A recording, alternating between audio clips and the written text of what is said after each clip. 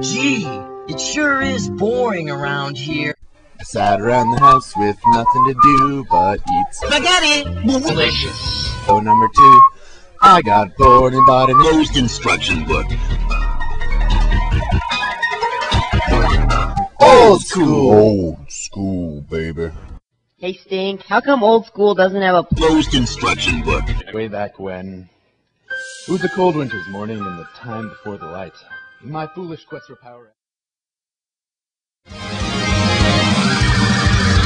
a cold winter morning, in the time before the light. Sam! Dear God, man, what happened to you? I, I, No, don't try to talk. It's obvious you're very hurt by by your damage. it was, it was. Spit it out, man. Who was it? Ganon's, Ganon's. My God! Don't know what that means. Sick bastard. You made it. twenty dollars to not talk for the rest of the episode.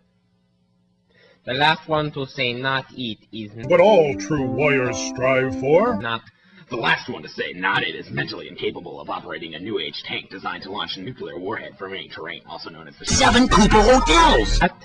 The last one to say not it. And you gotta help us. Oh no, Luigi, look out! What is it? Ganon's. The problem. Now,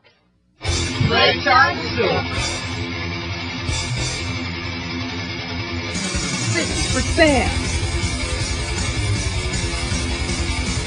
You're good. I'm bad. You've got to be kidding. on old school. And that's what it would be like if The island of Koridai. Hmm. people had a plot. What? Come on, that's bull crap. Aw, man. Well, I'm really bored now. What do we do? Defeat Ganon.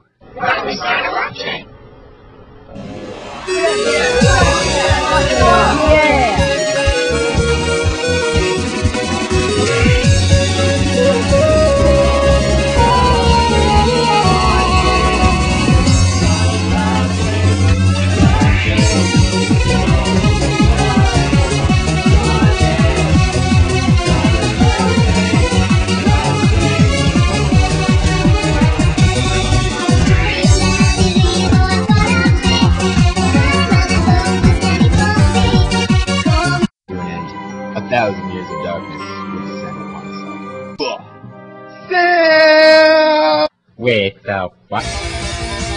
That's it. This ends now. What?